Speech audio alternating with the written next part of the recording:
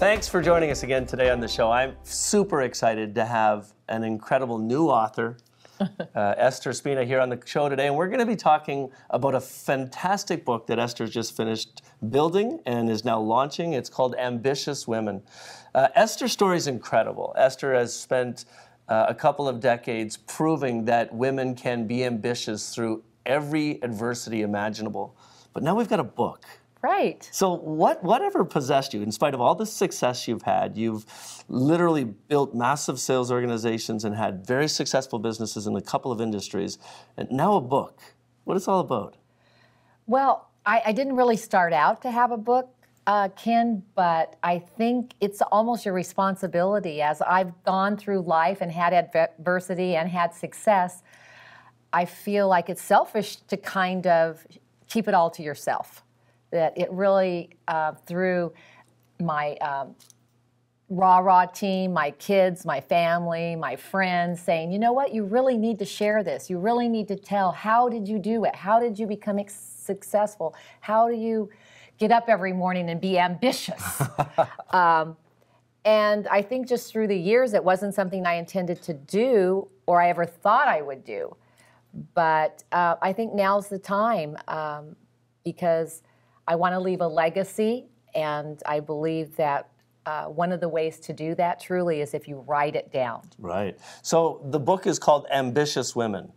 And having had a chance to go through the material with you and, and read the book, I, I've realized that for you, ambitious means a lot more than just being motivated to make money.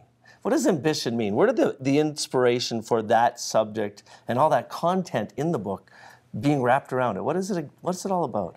Well, I think ambition sometimes is uh, a word that some people take very lightly, like, oh, they're ambitious, or they have a lot of ambition. But when you really understand what ambition is and being ambitious, it is it's such a strong desire within you that takes over you and nothing will stop you from achieving your goal.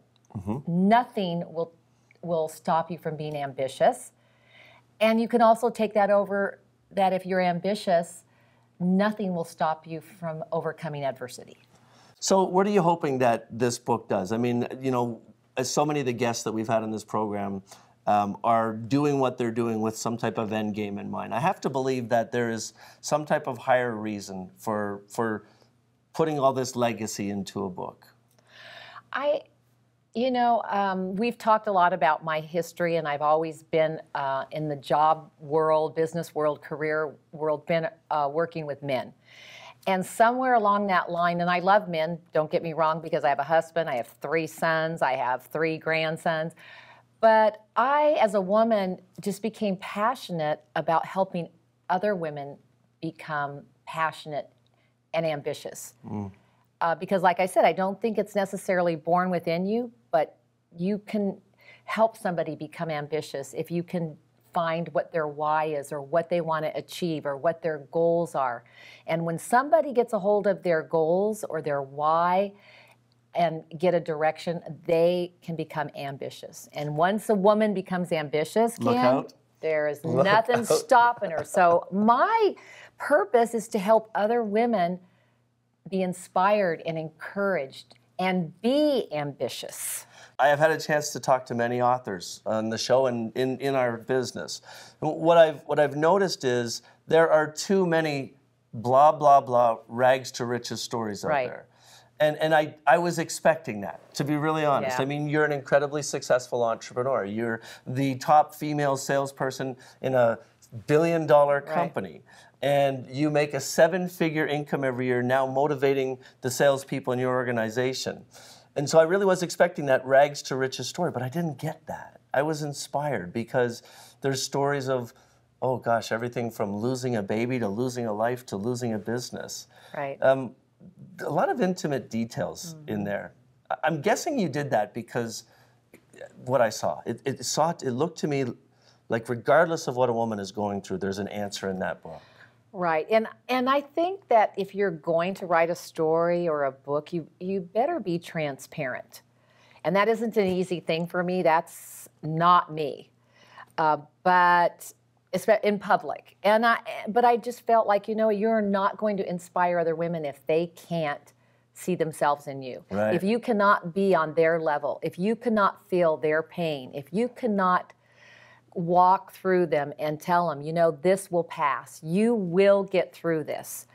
And that's why it was pretty humbling and it's there's some things in there that I would have never told anybody uh, in my life, but I felt like that if it was going to be successful, I needed to not be superficial and I needed to really be down where the women were. And I feel like I do, I do understand them because I am a woman.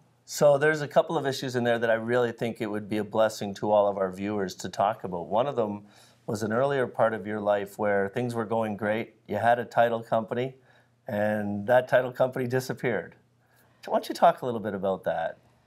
Well, um, you know, and I've told you, I'm not an uh, entrepreneur. Um, I don't even know where I got that from. I mean, I am. A, I am now. I have that entrepreneur spirit, but I have I, my mom and dad, my grandparents. No one. I can go back to my history of my family, and I don't find anybody that's an entrepreneur. But very early, young, um, in my marriage, we, my husband and I started a tile company, and we started it in our garage um, with my little babies, and we became very successful. Just, I, I guess, because we were ambitious Okay. We got that trait and we were going to make this work. And there were very many years that we were so successful and had everything and thought we owned the world and we would always have money coming in. And then of course a recession came.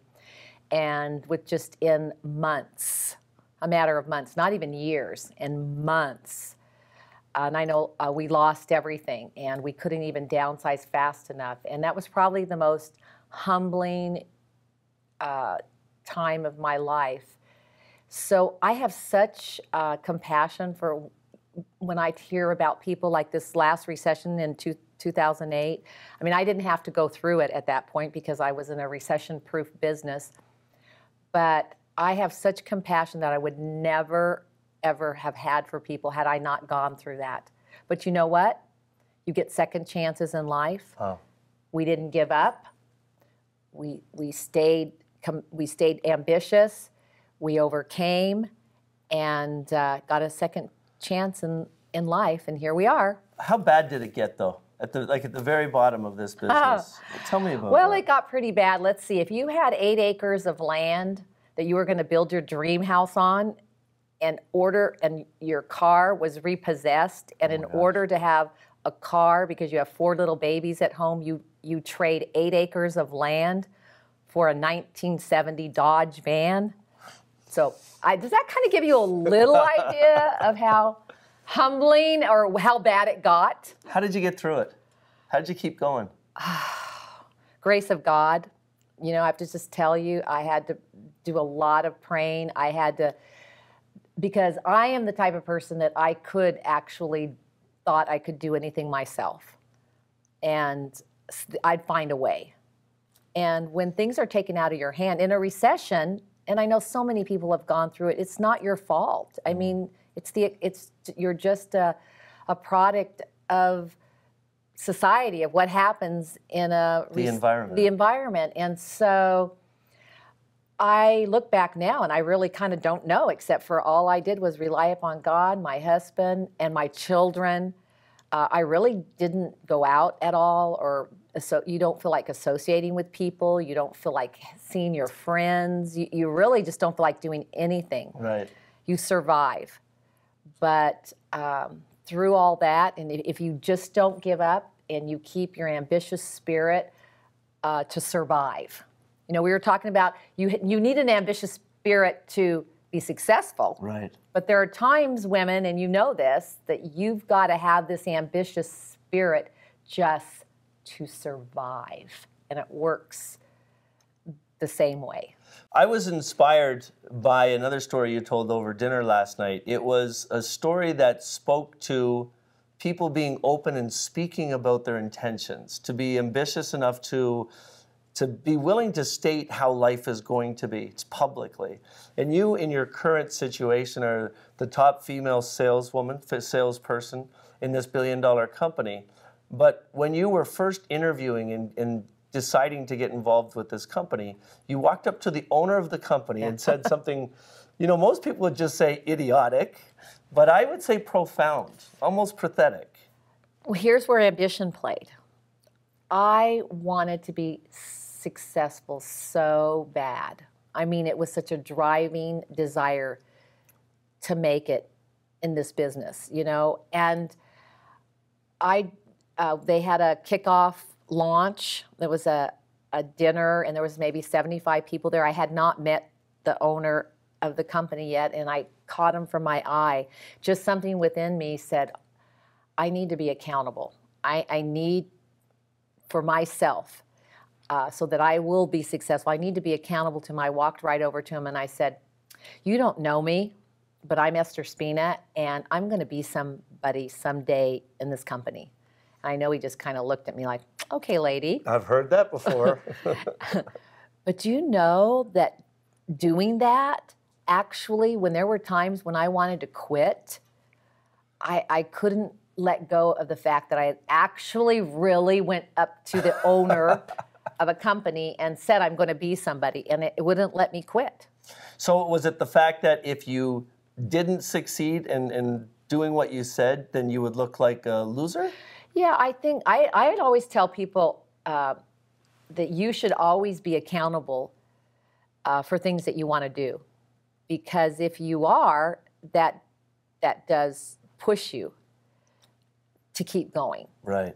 And I think people don't because if they fail, nobody knows about it. So they don't have to feel embarrassed or they don't have to know, and nobody needs to know that they failed. So I think that's what prevents a lot of us from really being successful. Number one, we won't share that or be accountable. So it's no loss if we don't make it. Right. But I'm going to encourage you to take the other end, and that's like be accountable. Right. Tell somebody, tell the owner of a company, tell somebody that you want to make millions of dollars, that you're going to be somebody. And all of a sudden, you're speaking that and you're living it, and then you can become it. Once you've told the world about it, it's like that if you don't succeed at it, you, then you're a hypocrite. Right. You know, and, and it's it's even the same way with this, Ken, with writing a book. You know, I people ask me for years, you should write a book, or you're so good at inspiring people, or you've got so many stories. But I never wanted to tell anybody that I would do it or could do it because, in case it didn't work, same thing. And so now I just had to get out of my comfort zone. And now here I am. You forced me to be on this interview. So now everybody knows I'm got a book out. So if we're talking about ambition, just sort of to put this all into one nice little package at the end of our time together. Your suggestion to people is ambition is not just about making a few dollars and being excited about doing it. It's a way of life. It is a way of life, and it doesn't come naturally. So you have to work at it. Uh, something else I learned is that successful people do what unsuccessful people will not do. We've been here in the studio today with the author, Esther Spina. Esther, thank you so You're much so for your welcome. time. Thank you for having me.